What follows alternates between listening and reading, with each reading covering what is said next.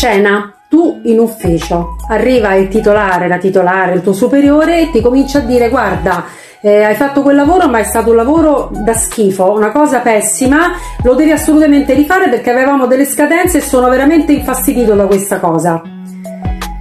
Come reagisci?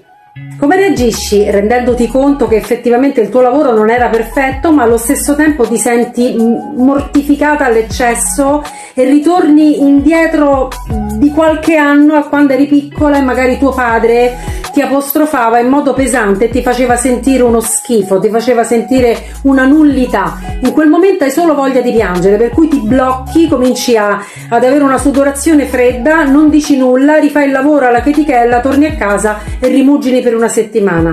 Sai quale potrebbe essere una risposta assertiva? Ha ragione, mi rendo conto di aver sbagliato qualcosa, ma avrei preferito me l'avesse detto in modo meno brusco.